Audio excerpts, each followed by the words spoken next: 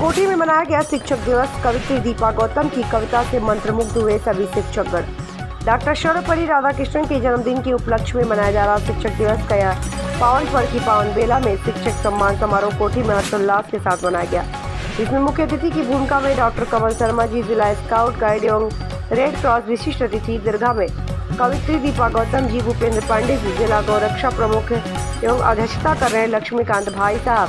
विभाग सहकार व राष्ट्रीय स्वयंसेवक संघ आज के इस कार्यक्रम में सर्वप्रथम माँ वीणा पाणी की प्रतिमा पर माल्यार्पण कर दीप प्रज्वलन अतिथियों द्वारा किया गया तत्पश्चात अतिथियों का माल्यार्पण द्वारा स्वागत कर भाषण वीरेंद्र विश्वकर्मा जी द्वारा किया गया।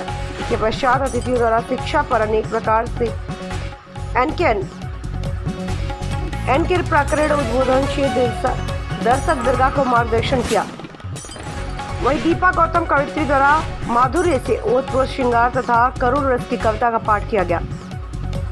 तत्पश्चात प्राचार्य डी के पांडे जी प्राचार्य डी पी शुक्ला शिव नारायण विश्वकर्मा भैंसवार दुर्गा प्रसाद शर्मा, सगमा दया, शंकर मिश्रा, कोठी मूलचंद्र वर्मा, सुंदर लाल वर्मा आदि शिक्षकों का श्री फलसाल व तुलसी की माला प्रदान कर सम्मानित किया गया।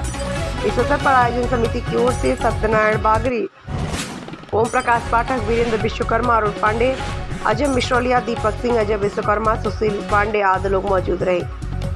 और आभार प्रदर्शन धर्मेंद्र सोनी द्वारा किया गया। संवाददाता उमेश कुशवाहा की रिपोर्ट।